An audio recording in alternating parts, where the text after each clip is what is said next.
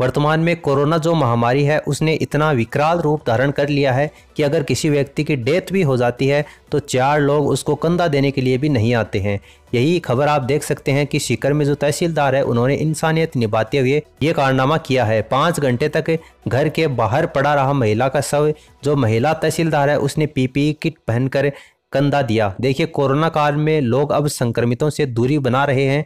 दूरी ही नहीं बना रहे, बल्कि संदिग्ध मानकर किसी के गम में भी वो शरीक नहीं हो रहे। शिकर के धोध में एक ऐसा ही मामला सामने आया है, जिसमें पाँच घंटे तक घर के बाहर शव पड़ा रहा, लेकिन कोई कंधा देने के लिए तैयार ही नहीं हुआ। सिर्फ़ महिला का पति अकेला लोगों की मदद के लिए गुहार लगाता रहा कि शमशान घाट तक उसको लेकर चलो, लेकिन कोई भी आगे नहीं आया। आखिरकार सरपंच के ज़रिए मामले की जानकारी जो है, वो महिला तहसीलदार को लगी और उसने खुद अर्थी को कंधा दिया और शमशान में महिला का अंतिम संस्कार करवाया। तहसीलदार ने उसकी चिता तैयार करने के बाद में महिला के पति शिवबक्स सिंह से मुखाग्नि दिलवाई। महिला के दो बेटे हैं, लेकिन दोनों ही जो बेटे हैं, वो विदेश में रहते हैं।